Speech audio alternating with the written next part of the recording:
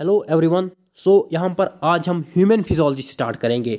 Human physiology का chapter number one that is that is digestion and absorption plant physiology हमने ख़त्म की है उसके फाइव चैप्टर्स अब यहाँ पर अलेवंथ क्लास बायोलॉजी में ह्यूमन फिजोलॉजी रहे। ह्यूमन फिजोलॉजी में सेवन चैप्टर्स हैं हमारे पास एक तो है डाइजेशन एंड एब्जॉर्प्शन दूसरा है breathing and exchange of gases तीसरा है सर्कुलेशन उसके बाद है एक्सक्रेशन उसके बाद है लोकोमोशन एंड मूवमेंट उसके बाद है नर्वस सिस्टम और लास्ट में एंडोक्राइन सिस्टम है। सो so, ये हमारे पास सेवन चैप्टर्स है। ह्यूमन फिजियोलॉजी में प्लांट फिजियोलॉजी हमने ख़त्म की उसके पाँच यूनिट्स हमने ख़त्म किए हैं। सो so, ये क्लास अलेवंथ का यहाँ पर लास्ट यूनिट है ओके ओके लास्ट यूनिट है ओके इसमें सेवन चैप्टर्स हैं लास्ट यूनिट है। ह्यूमन फिजियोलॉजी इसमें सेवन चैप्टर्स हैं। इसके साथ अलेवंथ क्लास बायोलॉजी ख़त्म ओके सो यहाँ पर आज हम डाइजेशन एंड एब्जॉर्प्शन के क्वेश्चंस करेंगे आप यहाँ पर देख सकते हो। और क्वेश्चन नंबर वन यहाँ पर हम स्टार्ट करते हैं आप यहाँ पर देख सकते हो। Which of the following term describe human dentition option B is the correct option okay option B यहाँ पर इसका करेक्ट ऑप्शन है। सो so, अगर हम यहाँ पर बात करेंगे अब थीकोडॉन्ट कंडीशन क्या होती हैं? जो हमारे दांत होते हैं वो यहाँ पर किसमें एम्बिडेड होते हैं? जो हमारी जाबुन होती है हमारे पास दो जाबुन हैं मैग्जिबल हैं मैंडेबल हैं ओके और जो उसके सॉकेट्स होते हैं उसमें हमारे दांत प्रेजेंट होते हैं। सो so, इस कंडीशन को हम थीकोडांट कहते हैं। दूसरी जो कंडीशन है वो है डाइफायोडांट ओके डाइफायोडांट डाइफायोडांट कंडीशन को हम किसको कहते हैं? हमारे पास टू सेट्स ऑफ़ टीथ्स होते हैं। एक तो हमारे बचपन में दांत आते हैं, उनको हम टेम्पोररी टीट्स कहते हैं या डेसीडियस टीट्स कहते हैं या मिल्क टीट्स कहते हैं और फिर गिर जाते हैं और फिर हमारे पास परमानेंट टीट्स आ जाते हैं, जिनको हम एडल्ट टीट्स भी कहते हैं ओके सो हमारे पास जो मिल्क टीट्स होते हैं, वो ट्वेंटी होते हैं और जो परमानेंट टीट्स होते हैं, वो थर्टी टू होते हैं। सो बचपन में हमारे पास मिल्क टीट्स या डेसीडियस टीट्स या टेम्पोररी टीट्स आते हैं और फिर गिर जाते हैं ओके और वो ट्वेंटी इन नंबर होते हैं ओके ट्वेंटी इन नंबर होते हैं, फिर वो गिर जाते हैं और उसके बाद हमारे थर्टी टू परमानेंट टीट्स आते हैं, जिनको हम एडल्ट टीट्स भी कहते हैं और इस कंडीशन को हम डाइफायोडॉन्ट कंडीशन कहते हैं। तीसरी जो कंडीशन है वो है हिटीरोडॉन्ट हिटीरोडॉन्ट कंडीशन क्या होती है कि हमारे पास फोर टाइप्स ऑफ़ टीथ्स होते हैं। एक तो यहाँ पर इंसिजर हैं कैनाइन है प्रमोलर्स होते हैं और मोलर्स होते हैं। इंसिजर्स हमारे पास कितने होते हैं? ओके चार होते हैं। यहाँ पर मैं आपको डेंटल फार्मूला के ज़रिए आपको ये समझाऊँगा कि हमारे थर्टी टू टीथ्स कैसे होते हैं।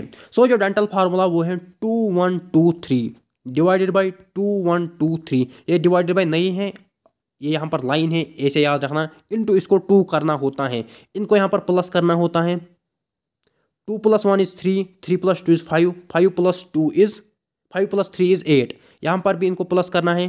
Two plus one is three three plus two is five five plus three is eight eight plus eight is sixteen sixteen into two is thirty two so यहाँ हमारे पास thirty two permanent teeths होते हैं। So so, यहाँ पर जो human dentition है वो थीकोडांट भी होता है डाइफाइडांट भी होता है हिटीरोडांट भी होता है।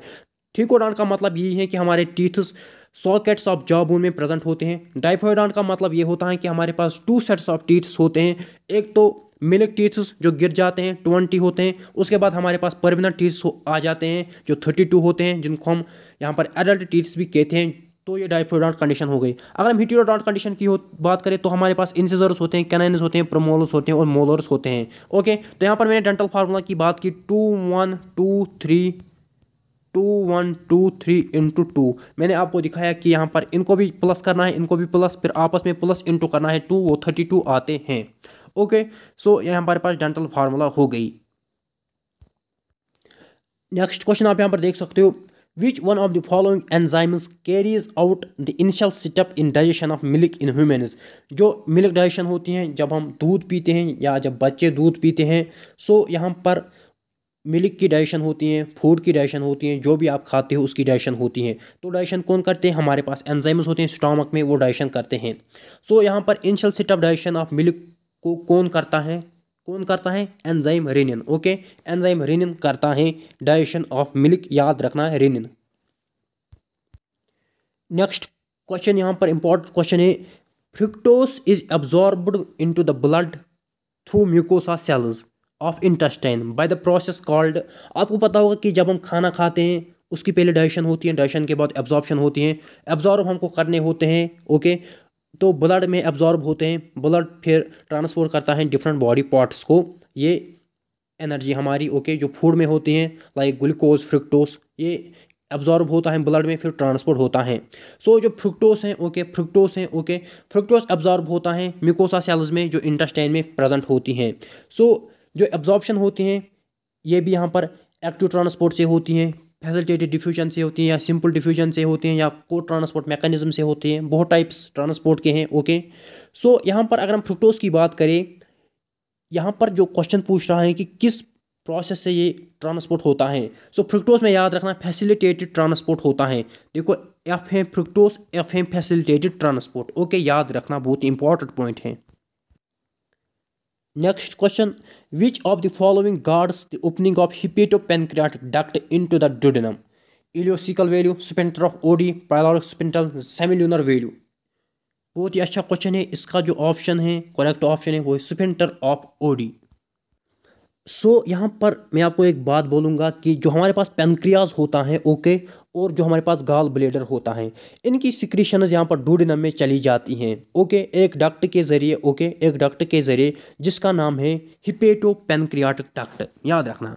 ओके हिपेटो पेनक्रियाटिक डक्ट हमारे पास होता है ओके इस डक्ट के ज़रिए जो सिक्रीशंस हमारा पेनक्रियाज और हमारा गाल ब्लेडर रिलीज़ करता है, वो डूडनम में चला जाता है। किसके लिए? फ़ूड को डाइजेस्ट करना है और किसी के, और यहाँ पर जो डोडिनम में फ़ूड होता है, उसको डाइजेस्ट करने के लिए यहाँ पर जो हमारी पेनक्रिया सिक्रिएट करता है एंजाइम्स और गाल ब्लेडर ओके वो किसमें चला जाता है डोडिनम में। सो जब ये पेनक्रियाज का डक्ट ओके जिसको हम पेनक्रिया डक्ट कहते हैं, और जो गाल ब्लेडर का डक्ट होता है ओके और यहाँ पर लिवर की सिक्रीशंस भी इसी में आ जाती हैं, ओके? गाल ब्लेडर, लिवर और पेनक्रियाज की सिक्रीशन यहाँ पर मिल जाती हैं एक जगह और ये फिर एक कॉमन डक्ट बनाती हैं जिसको हम कहते हैं हिपेटो पेनक्रियाटिक डक्ट, जो कि किसमें खुलता है? डूडेनम में। तो जब ये डूडेनम में खुलता है ये डक्ट ओके एक पाइप खुलती है किसमें? डूडेनम में। यहाँ पर ये मेरा पास डूडेनम है ओके ये डूडेनम है। तो ये यहाँ पर पाइप आ गई है। तो यहाँ पर एक डक्ट होता है, उसको हम कहते हैं sphincter of Oddi okay sphincter of Oddi हम उसी डक्ट को कहते हैं। सो यहाँ पर ये पेनक्रियाज हैं। पेनक्रियाज की सिक्रेशन यहाँ से आई और यहाँ पर मेरे पास एक गाल ब्लेडर है। गाल ब्लेडर की सिक्रेशन यहाँ पर आई और ये मेरे पास लिवर है। तो लिवर की सिक्रेशन भी यहाँ पर आई। तो यहाँ पर लिवर की जो डक्ट होती है, उसको हम हिपेटिक डक्ट कहते हैं। ओके, और गाल ब्लेडर की डक्ट ये आपस में पहले मिलती हैं तो ये कॉमन बाइल डक्ट बनाती हैं। बहुत ही इंपॉर्टेंट मैं यहाँ पर बोल रहा हूँ। तो ये इन्होंने कॉमन बाइल डक्ट बनाए। किस किस ने कॉमन बाइल डक्ट बनाई? एक तो डक्ट ऑफ़ गाल ब्लेडर ने, और डक्ट ऑफ़ लिवर ने, जिसको हम हिपेटिक डक्ट बोलते हैं तो कॉमन बाइल डक्ट बनी। तो यहाँ से पेनक्रियाज का डक्ट आता है पेनक्रियाज की डक्ट आती हैं, उसको हम पेनक्रियाटिक डक्ट कहते हैं। तो यहाँ पर कॉमन बाइल डक्ट और पेनक्रियाटिक डक्ट आपस में मिलती हैं, वो बनाते हैं हिपेटो पेनक्रियाटिक डक्ट अब ये हिपेटो पेनक्रियाटिक डक्ट किसमें ओपन होती हैं? डूडेनम में। डूडेनम में ओपन होते हैं लेकिन यहाँ पर एक स्पिंटर होता है उसको हम कहते हैं स्पिंटर ऑफ़ ओडी। सो ये बहुत बड़ा कंसेप्ट है मैंने आपको ये समझाया। नेक्स्ट क्वेश्चन आप यहाँ पर देख सकते हो। The primary dentition in human differs from permanent dentition in not having one of the following type of teeths मैंने आपको बोला कि हमारे पास यहाँ पर बचपन में ट्वेंटी मिल्क टीथ्स आते हैं फिर वो गिर जाते हैं और फिर नए थर्टी टू परमानेंट टीथ्स हमारे पास आ जाते हैं। सो so, यहाँ पर जो टीथस बचपन में नहीं होते हैं, उनका नाम क्या है? Canine molars incisors. तो उनका नाम प्रिमोलर्स होता है, ओके? प्रिमोलर्स यहाँ पर हमारे पास बचपन में नहीं होते हैं तो वो फिर जब एडल्ट टाइम होते हैं, एडल्ट के टाइम हमारे पास होते हैं, उनका नाम है premolars, okay? Premolars. Next question है, ये डिसऑर्डर्स का क्वेश्चन है। Anxiety and eating spicy foods together in an otherwise normal human में लीड टू इनडाइजेशन एक यहाँ पर एक डिसऑर्डर है इंडाइजेशन तो ये किसके वजह से होती है? एक तो अगर आप में एनजाइटी है और अगर आप स्पाइसी फूड्स खाते हो तो आपको इंडाइजेशन होगा। नेक्स्ट यहाँ पर क्वेश्चन है why do certain symbiotic micro organisms normally occur in human body यहाँ पर सिम्बायोटिक माइक्रो ऑर्गेनिजम्स का मतलब ये होते हैं कि जो ऑर्गेनिजम्स हमको फ़ायदा पहुँचाते हैं और उनको भी फ़ायदा होता है ओके तो सिम्बायोसिस का मतलब यही है। सो so, यहाँ पर हमारे इंटेस्टाइन में सिम्बायोटिक माइक्रो ऑर्गेनिजम्स होते हैं तो कहाँ पे होते हैं? सीकम में या oral lining and tongue surface पे, या worm form appendix and rectum में, या डोडेनम में? सो इसका जो करेक्ट ऑप्शन है, वो सीकम में। सीकम में यहाँ पर सिम्बायोटिक माइक्रो ऑर्गेनिजम्स पाए जाते हैं। याद रखना। नेक्स्ट क्वेश्चन आप यहाँ पर देख सकते हो। Which of the following gastric cells indirectly help erythropoiesis. Erythropoiesis का मतलब यहाँ पर है फॉर्मेशन ऑफ़ आर ओके जो हमारे ब्लड में आर होते हैं, उनको बनाने को कहते हैं इर्थोपियासिस। सो यहाँ पर गैस्ट्रिक कौन सी गैस्ट्रिक सेल्स यहाँ पर मदद करती हैं इर्थोपियोसिस में? इनडायरेक्टली मदद करती हैं goblet cell chief cell mucus cells parietal cells so the correct option is parietal cells next question है इंपॉर्टेंट क्वेश्चन है which of the following option best represent the enzyme composition of pancreatic juice मैंने अभी आपको pancreas दिखाया कि हमें pancreas होता है और वो अपनी सिक्रीशन रिलीज़ करते हैं और उसको हम पेनक्रियाटिक जूस कहते हैं ओके और ये जूस यहाँ पर ड्यूडेनम में चला जाता है ओके किसके डॉक्टर के ज़रिए? हिपेटो पेनक्रियाटिक डॉक्टर के ज़रिए। वहाँ पर एक, यहाँ, वहाँ पर एक सुपेंटर ऑफ़ ओडी होता है जब वो ओपन होता है किसमें? डोडेनम में। तो पेनक्रियाटिक जूस में कौन कौन से एंजाइम्स होते हैं जो फिर डाइजेशन में मदद करते हैं। सो so, यहाँ पर लाइपेज भी होता है एमाइलेज भी होता है ट्रिप्सनोजन भी होता है प्रो कार्बोक्सी पेप्टाइडेज भी होता है। याद रखना lipase amylase trypsinogen pro carboxy भी होता है। नेक्स्ट क्वेश्चन है in the stomach gastric acid is secreted by जो गैस्ट्रिक एसिड स्टोमक में सिक्रेट होता है, ये कौन सी सेल सिक्रेट करती हैं? Parietal cell acidic cell peptic cell gastrin secreting cells so इसका जो करेक्ट ऑप्शन है, वो parietal cells gastric acid secrete करती हैं क्योंकि फिर डाइजेशन में हेल्प करता है ये गैस्ट्रिक एसिड या गैस्ट्रिक जूस नेक्स्ट क्वेश्चन है इंपॉर्टेंट क्वेश्चन है the enzyme that is not present in succus entericus succus entericus हम किसको कहते हैं? इंटेस्टाइनल जूस को। सो so, भी यहाँ पर एंजाइम्स प्रोड्यूस करते हैं ओके सिक्रीशन यहाँ पर इंटेस्टाइनस भी प्रोड्यूस करते हैं और उसको हम सकस एंट्रिकस कहते हैं या इंटेस्टाइनल जूस तो इसमें भी एंजाइम्स प्रेजेंट होते हैं आपको बोलना है कि इनमें से कौन सा एंजाइम इसमें प्रेजेंट नहीं होता है। याद रखना न्यूक्लियसिस इसमें प्रेजेंट नहीं होते हैं माल्टेज भी होता है न्यूक्लियोसाइडेज भी होता है लाइपेज भी होता है लेकिन न्यूक्लियस न्यूक्लियसिस यहाँ पर सकस एंट्रिकस में नहीं होते हैं इंटेस्टाइनल जूस में न्यूक्लियसिस नहीं होते हैं। नेक्स्ट क्वेश्चन आप यहाँ पर देख सकते हो gastric juice of infants contain जो बच्चे होते हैं, उनके गैस्ट्रिक जूस में यहाँ पर कौन कौन से एंजाइम्स आप देखोगे? तो इसका जो करेक्ट ऑप्शन है, वो ऑप्शन सी पेप्सिनोजन भी होता है लाइपेज भी होता है और रेनन भी होता है ओके क्योंकि मिल्क को डाइजेस्ट करना है रेनन तो होगा, और यहाँ पर पेप्सिनोजन भी होता है लाइपेज भी होता है।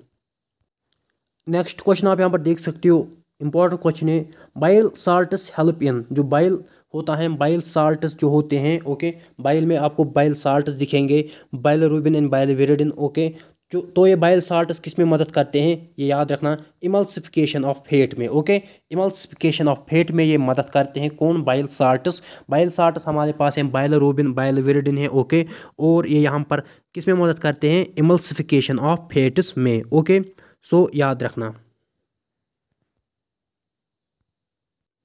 नेक्स्ट क्वेश्चन आप यहाँ पर देख सकते हो from which of the following pepsin is secreted pepsin यहाँ पर इनमें से कौन सा सिक्रेट करता है? लंग्स स्टोमक सेलिवरी सुबाशियस तो इसमें जो करेक्ट ऑप्शन है, ये इजी क्वेश्चन है। स्टोमक में यहाँ पर पेप्सिन सिक्रेट होता है ओके कौन? पेप्सिन स्टोमक में सिक्रीट होता है लंग्स का कोई यहाँ पर बात ही नहीं है तो सिल्वरी ग्लैंड्स अलग हैं ओके सुबाशस ग्लैंड्स अलग हैं okay salivary gland saliva secrete करते हैं सिल्वरी ग्लैंड सलाइवा सिक्रीट करते हैं ओके तो यहाँ पर इसका जो करेक्ट ऑप्शन है वो है स्टोमक सो so, साथ साथ हम एब्जॉर्प्शन को भी कंटिन्यू कर रहे हैं।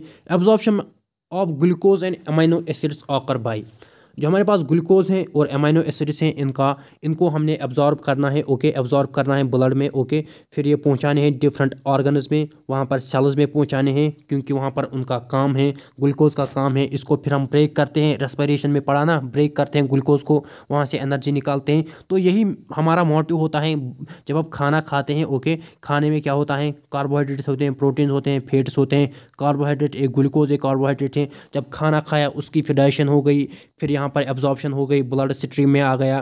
ब्लड जब कैरी करता है तो सेल्स में देता है। सेल्स में इस ग्लूकोज की ग्लाइकोलिसिस होती हैं। उसके बाद यहाँ पर लिंक रिएक्शन होती है। फिर क्या होता है? फिर क्या होता है? क्रब साइकिल होता है और इलेक्ट्रॉन ट्रांसपोर्ट चेन होती हैं। वहाँ पर हमको एटीपी मिलता है ओके तो ए हमारी एनर्जी है। फिर हम काम करते हैं। सो ये आपको आइडिया होना चाहिए। सो so, अगर हम ग्लूकोज और एमाइनो एसिड्स की एमाइनो एसिड्स की बात करें तो ये एब्जॉर्प्शन इनकी अगर हम बात करें तो ये एक्टिव इनकी एब्जॉर्प्शन होती हैं ओके इनकी एक्टिव एब्जॉर्प्शन होती हैं। तो मैंने इस इससे पहले फ्रुक्टोज की बात की। फ्रुक्टोज की मैंने बात की तो फ्रुक्टोज यहाँ पर फैसिलिटेटेड डिफ्यूजन फ्रुक्टोज का होता है।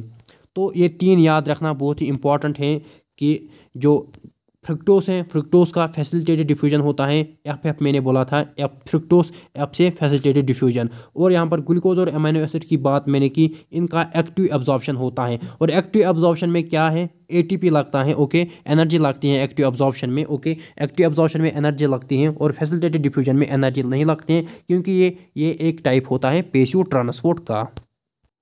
नेक्स्ट क्वेश्चन की अगर हम बात करें part of bile juice useful in digestion is bile juice की अगर हम बात करें, उसमें यहाँ पर बाइल साल्ट्स होते हैं ओके बाइल साल्ट्स होते हैं, उसमें आपका कोलेस्ट्रॉल होता है बाइल पिगमेंट्स होते हैं bilirubin and bile biliverdin okay so यहाँ पर बाइल साल्ट जो होते हैं, ओके, ये हमको इमल्सिफिकेशन ऑफ़ फेट में मदद करते हैं। सो इमल्सिफिकेशन ऑफ़ फेट में मदद करते हैं मीनस डाइजेशन में मदद करते हैं कौन? Bile salts.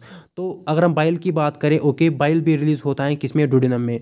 क्योंकि जो बाइल होता है, ये भी कहाँ से आता है? जो कॉमन फिर कॉमन डक्ट बनता है, ओके हिपेटो पेनक्रियाटिक डक्ट ये उसी के, उसी में यहाँ पर रिलीज़ होता है किसमें? तो उसमें किस किस सिक्रीशंस होते हैं? एक तो लिवर की, ओके लिवर की और गाल ब्लेडर की। और यहाँ पर पेनक्रियाज की। तो फिर वो कॉमन बाइल डक्ट बनाते हैं okay common bile bile duct बनाता है गाल ब्लेडर और लिवर और फिर वो किस डक्ट से मिलते हैं? पेनक्रियाज के डक्ट से, जिसको हम पेनक्रियाटिक डक्ट बोलते हैं। फिर वो कॉमन हिपेटो पेनक्रियाटिक डक्ट बनाते हैं। वहाँ पर स्पिंटर ऑफ़ ओडी गॉड करता है किसकी ओपनिंग में? डूडिनम की ओपनिंग में। सो यहाँ पर हमारे पास जो यहाँ पर बाइल जूस होता है ओके बाइल जूस होता है। सो बाइल जूस में क्या क्या होते हैं? बाइल पिगमेंट्स होते हैं, लेकिन ये डाइजेशन में हमको हेल्प नहीं करते हैं। बाइल साल्ट्स होते हैं, ये हेल्प करते हैं, और कोलेस्ट्रॉल होता है, और फास्फोलिपिड्स होते हैं। कोलेस्ट्रॉल भी होता है फास्फोलिपिड्स होता है। लेकिन एक इंपॉर्टेंट याद पॉइंट याद रखना कि जो बाइल जूस हैं, जो बाइल होता है, जो बाइल जूस होता है, इसमें कोई भी एंजाइम नहीं होता है ओके इसमें कोई भी एंजाइम नहीं होता है, ये याद रखना बहुत ही इंपॉर्टेंट पॉइंट है। नेक्स्ट क्वेश्चन आप यहाँ पर देख सकते हो जो हमारे एलिमेंट्री कनाल होती हैं एलिमेंट्री कनाल वॉल कंटेनर्स तो इसमें स्मूथ मसल्स होते हैं हमारे एलिमेंट्री कनाल में। सो so, जब आप डाइजेशन पढ़ते हो तो आप यहाँ पर माउथ पढ़ते हो टीथ पढ़ते हो यहाँ पर फिर आप ओलर केविटी पढ़ते हो उसके बाद आपका यहाँ पर एलिमेंट्री कनाल होते हैं फिर यहाँ पर आपका स्टमक होता है उसके बाद small intestine large intestine okay so यहाँ पर जो हमारे एलिमेंट्री कनाल हैं ये यहाँ पर इसमें स्मूथ मसल्स होते हैं। यहाँ पर एक क्वेश्चन है विटामिन के ऊपर क्वेश्चन है the vitamin is essential for blood clotting blood clotting के लिए कौन सा विटामिन एसेंशियल है? तो याद रखना विटामिन के यहाँ पर ब्लडिंग ब्लड क्लॉटिंग के लिए एसेंशियल होता है ओके ब्लड क्लॉटिंग के लिए विटामिन के एसेंशियल होता है। Next one Kupffer cells are present in Kupffer cells कहाँ पे होती हैं? Liver pancreas small intestine thyroid gland so Kupffer cells liver में होती हैं, याद रखना। उसके बाद और एक क्वेश्चन है protein deficiency leads to kwashiorkor cretinism marasmus both A and B protein deficiency यहाँ पर प्रोटीन डेफिशिएंसी से कवशकर भी होता है क्रिटिनिज्म भी होता है। सो इसका जो करेक्ट ऑप्शन है, वो option D both A and B kwashiorkor भी होता है क्रिटिनिज्म भी होता है, किसके डेफिशिएंसी की वजह से प्रोटीन डेफिशिएंसी की वजह से। नेक्स्ट क्वेश्चन यहाँ पर है S C L hydrochloric acid is secreted by zymogen cells oxyntic cells peptic cells none of these so इसका जो करेक्ट ऑप्शन है, वो ऑप्शन बी ऑक्सेंटिक सेल्स इन्हीं को हम पैराइटल सेल्स भी कहते हैं ओके पैराइटल सेल्स या ऑक्सेंटिक सेल्स ओके ये एच सी एल को यहाँ पर सिक्रिएट करते हैं, किसमें? स्टॉमक में। याद रखना ऑक्सेंटिक सेल्स को ही हम पैराइटल सेल्स कहते हैं। और जो हमारे पास पैप्टिक सेल्स होती हैं ओके पैप्टिक सेल्स को हम चीफ सेल्स भी कहते हैं ओके पैप्टिक सेल्स को हम चीफ सेल्स भी कहते हैं। तो याद रखना ऑक्सीटिक सेल्स को हम पैराटल सेल्स कहते हैं और एस सेल सिक्रेट करती हैं और जो पैप्टिक सेल्स होते हैं, इनको हम चीफ सेल्स कहते हैं। ऑक्सीटिक सेल्स को हम पैराटल सेल्स भी कहते हैं पैप्टिक सेल्स को हम चीफ सेल्स भी कहते हैं।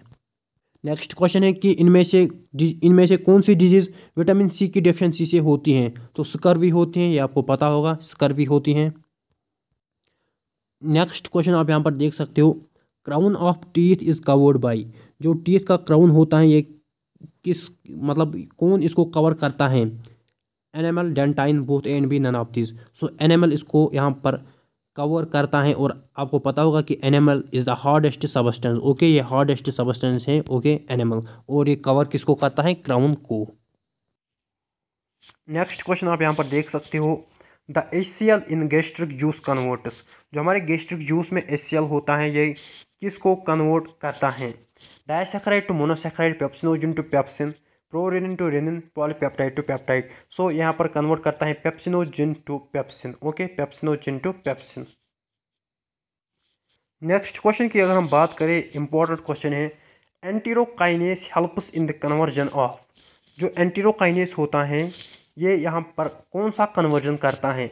Lactose to sucrose trypsinogen to trypsin pepsinogen to pepsin proteins to polypeptides so इसका जो करेक्ट ऑप्शन है, वो है option B okay so option B की अगर हम बात करें तो ये ट्रिप्सिनोजिन को किसमें कन्वर्ट करता है?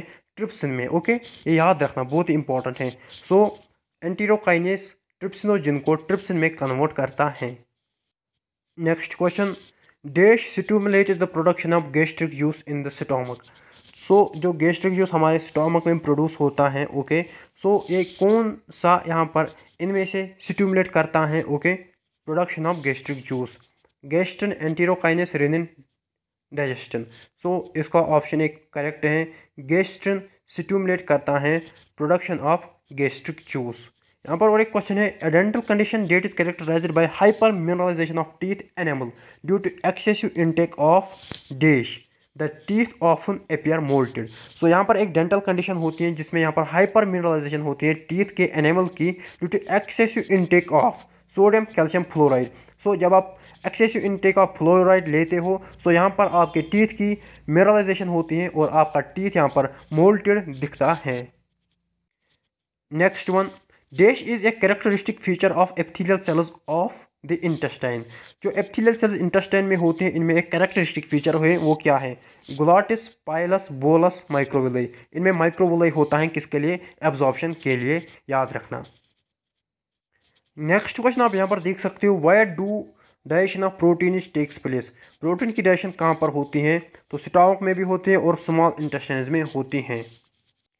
नेक्स्ट क्वेश्चन की अगर हम बात करें व्हाट इज़ इमल्सिफिकेशन इमल्सिफिकेशन हम किसको कहते हैं? मैंने आपको बोला कि जो हमारे पास बाइल होता है ओके बाइल में क्या होता है? बाइल में बाइल साल्ट्स होते हैं ओके बाइल में बाइल साल्ट्स होते हैं और वो हमको मदद करते हैं किसमें? इमल्सिफिकेशन ऑफ़ फेट में। सो so, यहाँ पर इमल्सिफिकेशन हम किसको कहते हैं? इमल्सिफिकेशन हम कहते हैं जब हम जो हमारे पास बड़े बड़े फेट मॉलिक्यूल्स होते हैं जब हम इनको ब्रेक डाउन करते हैं किसमें? स्मॉल माइसील्स में या स्मॉल मॉलिक्यूल्स में? So converting large molecules into smaller molecules is known as emulsification और इमल्सिफिकेशन बाइल साल्ट्स की मदद से होती है। नेक्स्ट क्वेश्चन आप यहाँ पर देख सकते हो which method is use for transport of amino acid पहले ही बोला है ग्लूकोज का भी मैंने बोला फ्रुक्टोज का भी मैंने बोला और एमाइनो एसिड्स का भी मैंने पहले ही बोला। फ्रिक्टोज का मैंने बोला फैसिलिटेटेड डिफ्यूजन होता है। ग्लूकोज और एमाइनो एसिड्स का मैंने बोला एक्टिव ट्रांसपोर्ट तो यहाँ पर एक्टिव ट्रांसपोर्ट नहीं है तो यहाँ पर एमाइनो एसिड्स का क्या आ जाएगा? नन ऑफ़ दीज अगर एक्टिव ट्रांसपोर्ट होता तो उसी को टिक मारनी थी। तो ग्लूकोज और एमाइनो एसिड का एक्ट्रो ट्रांसपोर्ट होता है और फ्रुक्टोज का यहाँ पर फैसिलिटेटेड डिफ्यूजन होता है। नेक्स्ट क्वेश्चन आप यहाँ पर देख सकते हो। Which of the following enzymes participate in the digestion of proteins जो प्रोटीन्स की डाइजेशन होते हैं यहाँ पर कौन कौन से एंजाइम्स पार्टिसिपेट करते हैं? ट्रिप्सिन काइमोट्रिप्सिन इलास्टेस सो इसका जो करेक्ट ऑप्शन है all of the above trypsin भी यहाँ पर डाइजेशन ऑफ़ प्रोटीन्स करता है और काइमोट्रिप्सिन भी और इलास्टेज भी। इलास्टेज अगर आप याद नहीं रखोगे, ये इंपॉर्टेंट नहीं है, लेकिन ट्रिप्सिन और काइमोट्रिप्सिन याद रखना कि ये प्रोटीन्स डाइजेस्ट करते हैं। ओके ये याद रखना। ट्रिप्सिन एंड काइमोट्रिप्सिन प्रोटीन्स की डाइजेशन करता है। अगर हम पॉलीसेकेराइड्स की बात करें लाइक स्टार्च उसकी डाइजेशन एमाइलिस करता है एंजाइम्स हैं। अगर हम फेट्स की बात करें फेट्स में यहाँ पर लाइपेजेस डाइजेशन करते हैं। अगर हम न्यूक्लिक एसिड्स की बात करें तो न्यूक्लियस डाइजेस्ट करते हैं ओके अगर हम यहाँ पर बात करेंगे लैक्टोज की लैक्टेज डाइजेशन करता है। अगर हम सक्रोज की बात करें तो सक्रेस डाइजेशन करता है ओके ये ईजी है ओके नेक्स्ट क्वेश्चन यहाँ पर आप देख सकते हैं which of the following statement is true trypsin breaks peptide bond at carboxylic end. Lipases include only one pancreatic and lingual lipase. Bile salts are necessary for absorption of lipids. Elastase enzyme is used for digestion of lipids. So option C is the correct option. अभी मैंने बोला कि bile salts यहाँ पर absorption of lipids या fats के लिए necessary होते हैं कौन बाइल साल्ट्स क्योंकि इमल्सिफिकेशन ऑफ़ फेट्स करते हैं या लिपिड्स नेक्स्ट क्वेश्चन आप यहाँ पर देख सकते हो the enzyme enterokinase helps in जो एंजाइम एंटीरोकाइनेस हैं, ये कौन सा कन्वर्जन करता है? ये मैंने पहले भी बोला, पहला क्वेश्चन है, लेकिन आपने वहाँ पर ध्यान नहीं दिया होगा। यहाँ पर आप ध्यान दोगे क्योंकि ये अब नीट में आया है ओके नीट पिछले साल के नीट में आया है। वहाँ पर ये नीट नहीं लिखा था ओके सो वहाँ पर ऐसे ही लिखा था, लेकिन यहाँ पर ये नीट में आया है पिछले साल, जो एंटीरोकाइनेस है, और वहाँ पर मैंने बोला था ये सबसे इंपॉर्टेंट पॉइंट है। The enzyme enterokinase helps in the conversion of trypsinogen to trypsin तो ट्रिप्सिनोजिन को कौन कन्वर्ट करता है ट्रिप्सिन में? एंटीरोकाइनेस नेक्स्ट क्वेश्चन आप यहाँ पर देख सकते हो। ये भी नीट में आया है। पिछले साल नीट में आया है। Identify the correct statement with reference to human digestive system correct statement आपको इन चार में से बोलना है। Ileum is a highly coiled part Vermiform appendix arises from duodenum. Ileum opens into small intestine. Serosa is the innermost layer of alimentary canal. So so, यहाँ पर अगर हम इलियम की बात करें यस ये क्वाइलर होता है। सो so, ये करेक्ट ऑप्शन है। इलियम क्वाइलर होता है। अगर हम वरिम फार्म अपेंडिक्स की बात करें ओके वरिम फार्म अपेंडिक्स की बात करें तो ये एराइज होता है सी कम से ना कि डूडेनम से। Ileum opens into small intestine नहीं इलियम एक पार्ट होता है स्मॉल इंटेस्टाइन का ओके और ये लास्ट पार्ट होता है किसका? स्मॉल इंटेस्टाइन का। ये स्मॉल इंटेस्टाइन में ओपन नहीं होता है क्योंकि ये खुद ही स्मॉल इंटेस्टाइन होता है। Serosa is inner most layer of inner most layer of alimentary canal. नहीं ये inner most layer of alimentary canal नहीं होता है मिकोसा इनर मोस्ट लेयर होता है। सो so, इसका जो करेक्ट ऑप्शन है वो है ऑप्शन ए नेक्स्ट क्वेश्चन आप यहाँ पर देख सकते हो। Identify the cells who secretion protect the lining of gastro intestinal tract from various enzymes so यहाँ पर आपको वो सेल्स बोलनी है जो यहाँ पर लाइनिंग किसकी प्रोटेक्ट करती हैं, किसकी गेस्ट्रो इंटेस्टाइनल ट्रैक्ट की from various enzymes chief cell goblet cell oxyntic cell duodenum cells so इसका जो करेक्ट ऑप्शन है वह गॉबलेट सेल क्योंकि गॉबलेट सेल्स को हम म्यूकस सेल्स भी कहते हैं। ओके म्यूकस नेक सेल्स भी कहते हैं क्योंकि म्यूकस सिक्रीट करती हैं और ये प्रोटेक्ट करती हैं हमारे जीआईटी को that is gastro intestinal tract को फ्रॉम वेरियस एंजाइम्स लाइक हमारे पास एसीएल भी हैं, ओके। इससे कौन प्रोटेक्ट करती हैं? ये गॉबलेट सेल्स का जो म्यूकस प्रोड्यूस करते हैं, यही प्रोटेक्ट करती हैं। चीफ सेल्स का मैंने आपको और एक नाम दिया था, ओके। चीफ सेल्स का और एक नाम है peptic cells okay. Peptic cells ये मैंने बोला था। ऑक्सेंटिक सेल्स का मैंने और एक नाम दिया था parietal cell okay. Parietal cells is the another name of oxyntic cell peptic cell का दूसरा नाम चीफ सेल्स हैं। और अगर हम पैप्टिक सेल्स की बात करें, ये सिक्रिएट करते हैं प्रो एंजाइम्स कौन कौन से पेप्सिनोजिन प्रोरेनिन और lipases okay pepsinogen prorennin and lipases okay PPL pepsinogen prorennin lipases और अगर हम यहाँ पर पैराइटल सेल की बात करें या ऑक्सेंटिक सेल की बात करें, ये क्या रिलीज़ करते हैं? ये रिलीज़ करते हैं एक तो S C L okay S और रेज करते हैं इंट्रेंसिक कासल फैक्टर ओके जो रेस्पॉन्सिबल होता है किसके लिए? Absorption of vitamin B twelve के लिए। इंपॉर्टेंट पॉइंट है इंपॉर्टेंट पॉइंट है कि जो हमारी पैराइटल सेल्स होते हैं या ऑक्सेंटिक सेल्स ये एक तो एस रिलीज़ करती हैं और इंट्रेंसिक कासल फैक्टर रिलीज़ करते हैं और वो किसके लिए इंपॉर्टेंट होता है? For the absorption of vitamin B twelve in human beings और जो म्यूकस नेक सेल्स होते हैं या गॉबलेट सेल्स होते हैं, वो म्यूकस प्रोड्यूस करते हैं, जो हमारे जीआईटी को बचाता है from various enzymes like S अगर हम पेप्टिक सेल्स की बात करें या चीफ सेल्स की बात करें यहाँ पर क्या सिक्रिएट करती हैं? यहाँ पर प्रो एंजाइम सिक्रिएट करते हैं pepsinogen prorennin and lipases next question आप यहाँ पर देख सकते हो। One of the following is not an enzyme of digestive system इनमें से एक एंजाइम डाइजेस्टिव सिस्टम का एंजाइम नहीं है। ट्रिप्सिन तो है एमाइलेज भी हैं एंटीरोकाइनेज भी हैं तो एंटीरोगेस्ट्रॉन यहाँ पर डाइजेस्टिव सिस्टम का एंजाइम नहीं है। नेक्स्ट क्वेश्चन की अगर हम बात करें the movement in the gut wall are known as जो हमारी गट वॉल में मूवमेंट्स होते हैं, उनको हम क्या कहते हैं? Systole diastole metachronal peristalsis. तो उसको हम पेरिस्टालिसिस कहते हैं, जो हमारी गट वॉल में मूवमेंट्स होती हैं। यहाँ पर चार ऑप्शन हैं, आपको बोलना है कि ह्यूमन्स में डेंटल फार्मूला कौन से हैं? तो मैंने पहले ही बोला था two one two three upon two one two three ये डेंटल फार्मूला ह्यूमन्स की होती हैं। नेक्स्ट क्वेश्चन आप यहाँ पर देख सकते हो फैटी एसिड्स इन ग्लाइसरॉल और first absorber by lymph vessel villi blood capillaries hepatic portal vein तो इसका जो करेक्ट ऑप्शन है है लिम्फ वेसल्स लिम्फ वेसल्स में fatty acids and glycerol digest होते सॉरी अब्जॉर्ब होते हैं. सो so, जो हमारे पास फैट्स होते हैं आपको पता है कि हमारे पास कार्बोहाइड्रेट्स होते हैं फैट्स होते हैं और प्रोटीन्स होते हैं. ये मेन तीन सोर्स हैं ओके सो so, अगर हम फैट्स की बात करें फैट्स को हम पहले तोड़ते हैं किसमें? डायासेक्राइड और मोनोसेक्राइड में। किसकी मदद से? लाइपेजेस की मदद से। तो जो डायासेक्राइड्स एंड मोनोसेक्राइड्स होते हैं, इसको हम फिर तोड़ते हैं लाइपेजेस की मदद से। किसमें फैटी एसिड्स प्लस ग्लाइसरॉल में। तो फैटी एसिड्स और जो ग्लाइसरॉल हैं, ये यहाँ पर एब्जॉर्ब हम कर सकते हैं, जो हमने फैट्स को तोड़ा, फैटी एसिड्स एंड ग्लाइसरॉल। तो ये एब्जॉर्ब यहाँ पर ब्लड में नहीं होते, ये पहले लिम्फ में एब्जॉर्ब होते हैं, ओके? फ़र्स्ट ये लिम्फ में एब्जॉर्ब होते हैं, बहुत इंपॉर्टेंट पॉइंट है। नेक्स्ट क्वेश्चन है इंपॉर्टेंट क्वेश्चन है the structure which prevents the entry of food into the respiratory tract is आपको पता होगा कि हमारे पास डाइजेस्टिव ट्रैक्ट है रेस्पिरेटरी ट्रैक्ट है, जो हमारे पास एलिमेंट्री कैनाल हैं ओके सो so, हमारे पास फ़ूड पाइप है ओके जिसको हम ईसोफेगस भी कहते हैं और हमारे पास विंड पाइप है जिसको हम ट्रेकिया भी कहते हैं। तो इनकी एक कॉमन ओपनिंग होती है जिसको हम फेरेंक्स कहते हैं ओके कॉमन ओपनिंग इनकी फेरेंक्स होती हैं। लेकिन यहाँ पर वो क्वेश्चन नहीं है। यहाँ पर एक क्वेश्चन है कि ये हमारे पास सपोज़ फ़ूड पाइप है और ये हमारे पास विंड पाइप है। यहाँ पर इनकी कॉमन ओपनिंग होती है यहाँ पर एयर भी होता है और वाटर भी होता है। सो so, अगर हम एयर को हमने किसमें जाना है? एयर को वीड पाइप में जाना है डेट इज़ ट्रेकिया को। अगर हम यहाँ पर एयर एंड फ़ूड ओके अगर हम फ़ूड की बात करें फ़ूड को फ़ूड पाइप में जाना है, यानी ईसोफेगस में।